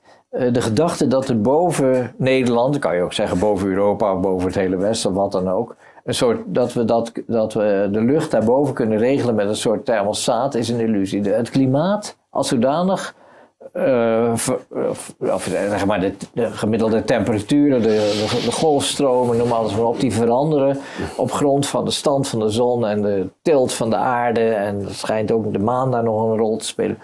Daar hebben we allemaal helemaal niks te zoeken. Dat is puur bedrog en dat is gewoon een voortzetting van, de, van het COVID-bedrog. Dat, daar ben ik heilig van overtuigd. Maar dat wil niet zeggen dat er niet een enorm uh, een vervuilingsprobleem is in de vorm van plastic bijvoorbeeld.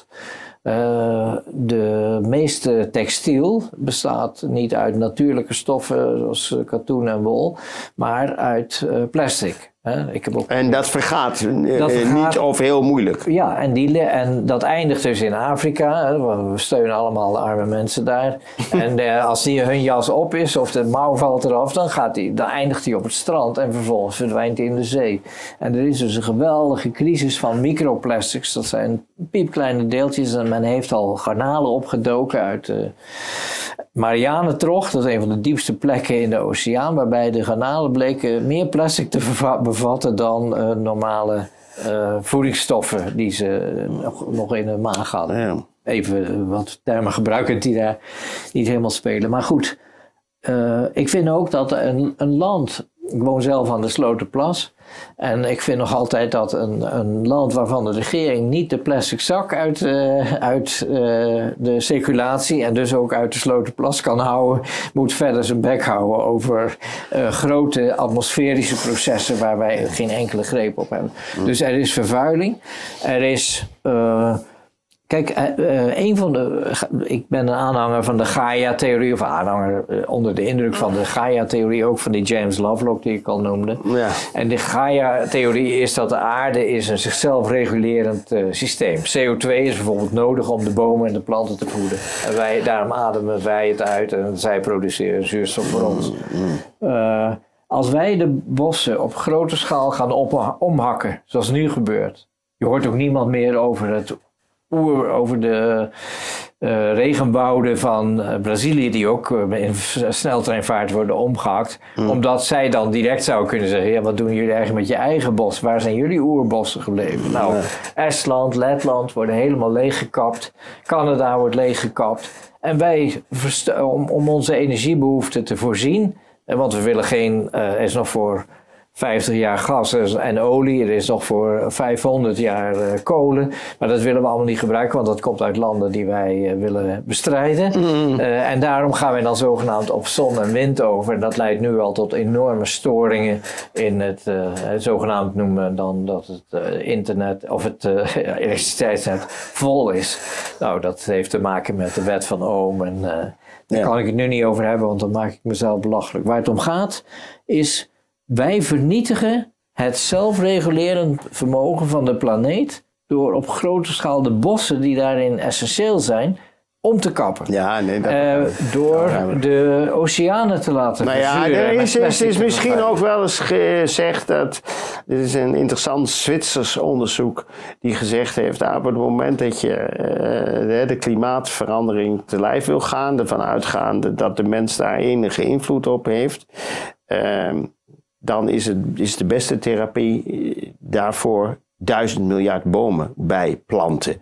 De wereld heeft ongeveer 3000 miljard bomen.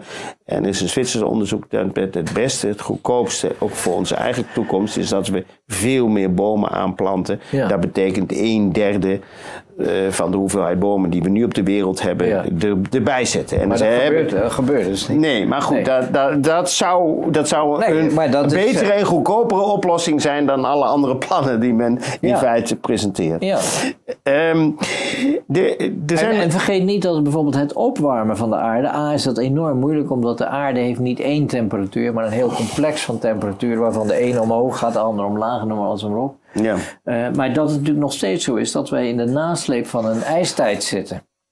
En uh, dat is een groot complex systeem. En je hebt waarschijnlijk gehoord ook van de complexiteitstheorie. Ook mm. wel chaostheorie genoemd. Ja. En dat wil zeggen dat als er in een heel complex systeem een aantal grootheden fundamenteel van waarde veranderen. Hè, bijvoorbeeld dat het zeewater warmer wordt. Ja. Uh, dan kan je heftige beweging, vandaar dat het chaostheorie wordt genoemd ook.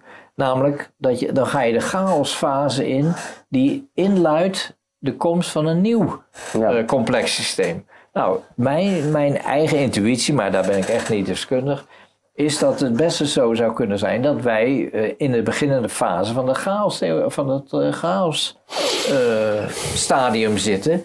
Overgang naar bijvoorbeeld het kouder worden naar een nieuwe ijstijd. Ja, ja, ja, Waar we dan natuurlijk technologisch veel meer op inge... Uh, we hebben dan veel meer mogelijkheden dan bij eerdere ijstijden om daar ook iets aan te doen. Daar zou dus menselijk ingrijpen mogelijk zijn. Maar de gedachte dat wij door elektrische auto's te rijden en die net zo milieuvervuilend zijn, alleen op andere plaatsen dan benzineauto's ja. uh, en windmolens en al die andere verschrikkelijke, vooral die zonneweiden, daar krijg ik elke keer een, een woedeaanval als ik daar doorheen rijd. Kostelijk boerenland wordt daar geofferd.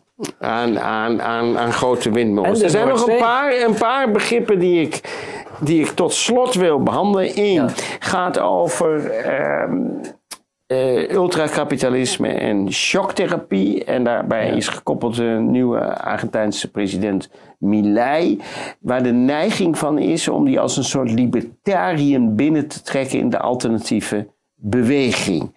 En uh, zowel jij als ik hebben eigenlijk al heel scherp gezegd: deze figuur is niet alleen een ultrakapitalist, hij is bovendien, maakt hij gebruik van autocratische methodieken vanuit de staat. Hij is dus helemaal niet een anarcho-kapitalist. Hij, is, hij is een, een oerliberale nachtwakerstaat, zoals ik het noem. Hè, de 19e eeuwse nachtwakerstaat. In haar, in haar naakte vorm. Uh, namelijk middels repressie. Uh, de sociale voorzieningen uh, en alles wat de sociaaldemocratie de afgelopen 100 jaar heeft geleverd, afbreken. Ja. Nou, ik, ik zou dus gewoon zeggen: het is een fascist, omdat hij uh, heeft de aanval geopend op de vakbonden met het idee ze echt te vernietigen. Ja. Uh, en aanval op de vakbonden betekent altijd dat de lonen dan radicaal naar omlaag gaan. Hij heeft een buurlanden bedreigd, met name Colombia, wat nu door een progressieve president wordt uh, bestuurd. die hij een gevaarlijke terrorist noemt, terwijl dat juist de man is die een einde heeft gemaakt aan de eeuwige burgeroorlog die maar doorsudderde in Colombia. Ja. En hij heeft dan ook nog eens een keer uh, de autonomie van uh, Argentinië op financieel gebied heeft hij prijsgegeven door de dollar ja, die, die wil die invoeren. Ja, ja, en vergeet niet dat, hij, dat Argentinië op de lijst stond van kandidaatlanden van de BRICS. Ja, die, daar heeft hij zich uit teruggetrokken. teruggetrokken. Ja, hij, nou, ja, hij is bij de WEF geweest. Hij is eigenlijk een globalist. Verder ondersteunt hij nog de oorlog in Oekraïne. En hij in Israël. Is, en in Israël. En, en wil eigenlijk, uh, hij heeft een katholieke achtergrond nu in de Joodse godsdienst binnentreden, begreep ik. Ja, ja, ja. Uh, Met andere woorden, hij is eigenlijk, zeg jij, jij noemt hem zelf een fascist, maar hij heeft in ieder geval uh, een nogal sterk autocratische neiging. Ja, nou ja, goed, je kan je woorden heel zorgvuldig kiezen, maar soms moet je gewoon zeggen, cut the crap. hij heet zoals hij heet. Het is, een, het is een fascist in onze eigen tijd. Ja. Net zoals Bolsonaro een uh, fascist was. Die werd ook nogal gevierd hier in de alternatieve kring. Ja. Maar ik zou toch echt... Uh, Bolsonaro hield er bijvoorbeeld van om net als Mussolini op een paard uh, op demonstraties in te rijden. Ja, ja. ja, nog dan een ander begrip wat ook nogal naar voren komt. Cultuurmarxisme. Zou jij daar wat over, over willen merken? Dat is eigenlijk een begrip wat uit de rechtse hoek komt om linkse mensen, of fictief linkse mensen, uit te dingen. Ik kom zelf uit de cultuurwereld, maar ik ken helemaal niemand die zich cultuurmarxist noemt. Nee. Uh, er zijn een aantal mensen die nog enige marxistische achtergrond hebben, waaronder jij en ik misschien een beetje. Maar dat zijn, is niet typisch cultuurmarxistische mensen. Nee, nee, nee. Nou, kijk, dat hele begrip is dus eigenlijk. Uh, ja, ja, ja. Dat, dat is ook weer iets. Maar kijk, je, je moet proberen natuurlijk. Ik zei net, Milei is gewoon een fascist. Dat is dat je een, di lange discussie kort sluit. Omdat er eigenlijk aan de kant van die persoon geen enkel positief element zit. wat de definitie fascist onrechtvaardig zou maken. Maar nou ja, men zegt, men zegt hij is een libertaire figuur, hij staat voor libertaire waarden. Dat is wat, wat de tegenpartij ultra, zegt. Ultraliberaal zou ik zeggen, maar goed. Ja. Uh, dat cultuurmarxisme, daar, daar zit natuurlijk wel meer, uh, dat heeft wel meer realiteitswaarde in de zin dat de mei 68 beweging was een geweldige culturele omslag in ons type maatschappij. Niet alleen dat het jij en jou werd tegen iedereen, ja, wat ja. nu nog steeds is in elke advertentie. Maar uh, er kwam een andere, ander maatschappijbeeld. Hè, met, ik hoef het niet hier breed te schetsen. Daarbij werd onder andere uh, vond een receptie plaats van denkers zoals de Frankfurter Schule, hebben we vorige keer even over gehad. Marcuse, Horkheimer, ja. Adorno, Fromm, uh, Benjamin. Precies, uh, Georg Lukács als een daarvan losstaande figuur. Ja. Uh, Neomarxist, dat is wel een typische neomarxist. Ja, ja, ja, dat wel. En uh, die Frankfurter Schule had natuurlijk als eigenaardigheid ook hun uh, affiniteit met denken van Freud. Dus het idee ja. van de dieptepsychologie, de ontwikkelingsgang. Die dat heet in de termen heet dat een Freud-marxisme. Precies. Ja.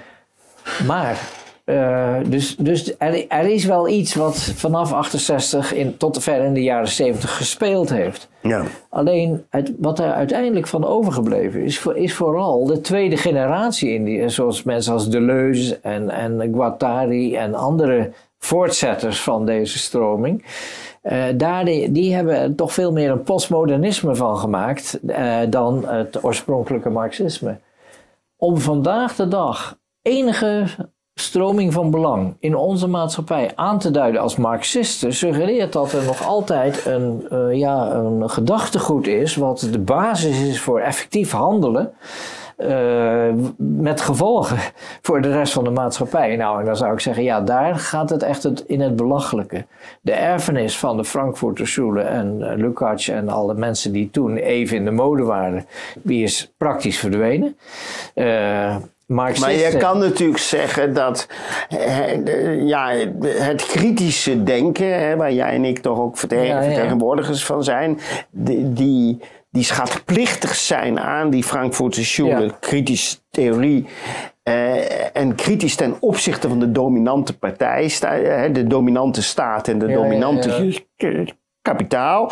Uh, daar, daar kan je van zeggen dat, dat dat, hè, die, die, dat kritische denken daarop gebaseerd is. Oh nee, dat kan je wel denken. Alleen je moet tegelijkertijd zien dat er nog in enig medium, nog in de universiteit, het het marxisme, als, als, ook in de neo-marxistische ja. Frankfurter Schule, speelt geen enkele rol meer. In de, zelfs in de psychologie is, is Freud afgeschaft. In de economie is Keynes afgeschaft. Dat zijn in wezen burgerlijke denkers, maar die, al, die al te veel tentakels hadden in de richting van een mogelijk progressieve invulling, al is het maar op korte termijn. Ja, nou ja, kijk, iemand wees mij er ook net op, die zei, ja, maar volgens mij zit de irritatie niet zozeer in het begrip cultuurmarxisme, maar dat wordt bijna gelijk getrokken met het begrip cultuurrelativisme.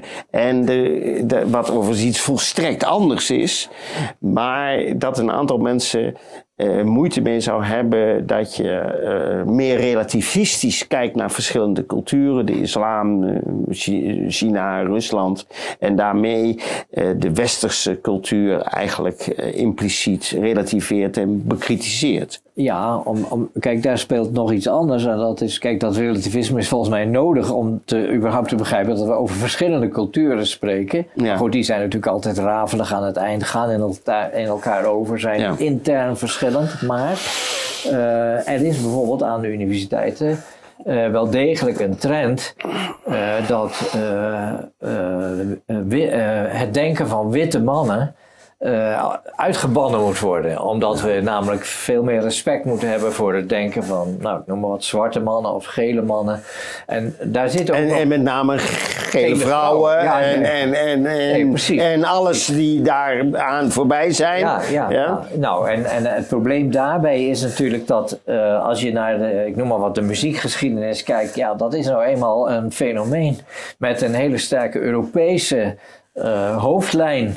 En uh, ik heb een keer een Indiër uh, gesproken die echt geen last had van vooroordelen. Maar die vertelde dat uh, in India wel 80 radiostations zijn die de hele dag klassieke muziek uitzenden. En dan niet de prachtige sitar-muziek van Ravi Shankar. Maar de muziek van Schubert en Mozart en noem maar op. Dus in die zin is het nou eenmaal zo dat de, het positieve van de Europese geschiedenis is dat het een ongekende culturele bloei heeft voortgebracht. Waarbij eigenlijk maar één, uh, als je mij vraagt, maar één hele belangrijke uh, afzwaaier is waargenomen. En dat is de ontwikkeling van de jazz. De jazz in Amerika, die na de opheffing van de slavernij begon in allerlei kroegjes en bij begrafenissen en dergelijke ook een ongekende ontwikkeling heeft doorgemaakt. Maar ook totaal andere principes van harmonieleer en het hele idee van permanente improvisatie. Dat is natuurlijk fabelachtig. En dan kan je zeggen, nou ja, dat is dan een soort troost. Dat ook de uh, slavengemeenschap in uh, Amerika een eigen cultuurproduct heeft voortgebracht, wat, wat mij betreft eeuwigheidswaarde heeft. Maar daarbij zie je weer dat dat dus niet etnisch is, want A kunnen ook blanken. Hè? Bill Evans is de grootste uh, jazzpianist, misschien met McCoy Tyner samen. Maar McCoy Tyner is weliswaar een zwarte, maar Bill is, uh, is blank. Ja. En er is een beroemd moment geweest dat in de jaren, ook weer in de jaren 60, toen eh, iedereen ook al toch al in heel veel opzichten in de war was, hmm. dat er jazzgroepen uit Amerika, moderne jazzcombo's, die gingen naar Afrika toe om hmm. als het ware de muziek terug te brengen bij de mensen van wie het echt vandaan kwam. Mm. Alleen er was geen enkele interesse voor.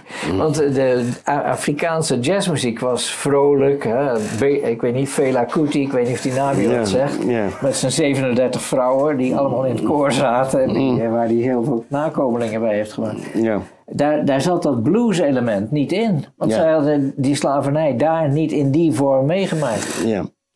Goed, we gaan langzamerhand uh, afsluiten. Misschien een, een, laatste vraag. Zijn er, zijn er nog onderwerpen waar jij van zegt, in, in die, die hele dichotomie links-rechts, uh, uh, dit is nog een woord, een onderwerp waarvan, waar, waar, waar ik me nou aan geïrriteerd heb en wat ik eigenlijk nog recht zou willen zetten?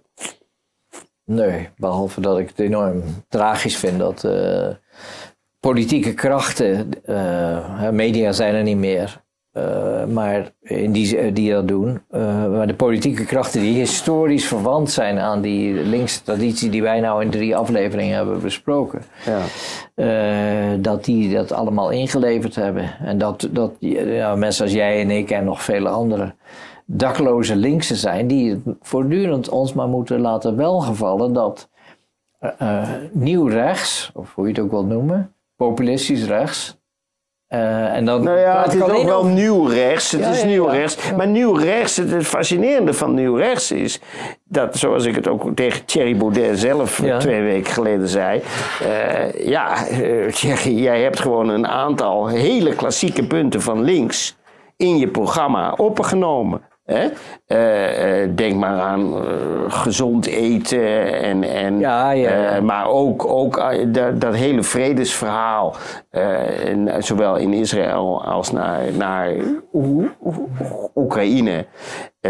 over ze allerlei relativistische verhalen zijn natuurlijk eigenlijk vanuit het linkse denkgoed overgenomen en zelfs hier en daar verwerkt in het forumprogramma. Ja. En, eh, en, volgens mij is het zo, zeker als je ook de laatste verkiezingsuitslag uh, goed tot je door laat dringen. De enige manier waarop dat forum. Ik ben, wel, ben pas uh, tot mijn groot genoegen uitgenodigd door de jongeren van de Brabants Forum. Mm, oké. Het was een ongelooflijk interessante bijeenkomst. Heel stimulerend voor mij en zij waren ook tevreden. mijn gevoel is dat de enige manier waarop die partij, die dus veel interessanter is dan enige andere partij op dit moment, ook veel meer intellectuele bagage heeft. Zij het niet alles uh, nog met het uh, waarmerk van de Nederlandse Vereniging van Huisvrouwen. uh, als, er, als ze zich ontwikkelen tot een brede volkspartij. Dus een, een hele brede paraplu uitklappen waarin ook een linkse stroming, een gedachtegoed uh, veel meer onderlinge discussie op niveau. Mm. Uh, het element van uh, ja, een beetje soms qua jongensachtige koorballerigheid uitgebannen wordt. En de serieuze oppositie die gevoerd wordt door uh, Gideon van Meijer, door uh, Pepijn van Houwelingen, ook door uh, Ralf Dekker. Ja. en in het Europees Parlement door Marcel de Graaf. Ja. in mijn ogen een zeer imposante figuur. Hm? Kijk, die mensen moeten meer te zeggen hebben. En dan ja, moeten we van Thierry misschien een directeur van het wetenschappelijk bureau maken. Ja, zoiets. Maar, ja, maar leuk, dat zijn mijn zaken. Maar, maar, wat ik wel leuk aan Thierry Baudet vind, hij is... Hij, hij, ik voel wel een soort verwantschap Alleen hij is ooit in zijn generatie naar rechts afgeslagen en ik naar, naar links. Maar hij is wel wat je zou kunnen zeggen een soort vrij zwebende intelligentie. Hij roept een aantal dingen, hij wil creatief zijn. En hij speelt niet helemaal de rol van ik ben nou eenmaal de partijleider van een belangrijke partij. Ik wil gewoon een, een, een creatief denkend iemand zijn en zo nu en dan een leuk boek schrijven en ook tegen de schenen van het establishment aan oh, Nee, maar dat, het is een enorme charmeur en een, een leuke provocateur. Alleen we praten hier natuurlijk wel over zaken die ook eisen dat je verantwoordelijkheidsbesef hebt. Waar zijn we mee bezig? Bij, je wordt niet alleen maar groot, je moet niet alleen maar groter worden omdat dat leuk is, maar je moet groter worden omdat jij gelooft dat voor jouw opvattingen essentieel zijn voor het redden van de maatschappij, om maar een groot woord uh, te gebruiken. Hartelijk dank voor dit ja, gesprek. Dankjewel, uh, Al.